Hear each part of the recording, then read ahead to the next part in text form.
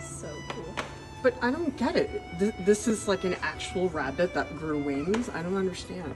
taxidermist was like, hey, what if we mix them so that it would look funny?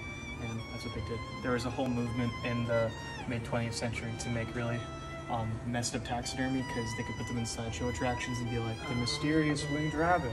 All right, so we've been asked which ones we want. So I'm gonna say I'm gonna take the bunny with wings. I want the fetal pig. And what is this? This is real. It's a bunny with wings. I mean, it's really cool, but it also makes me a little upset. we'll do the top. Cheers. Cheers.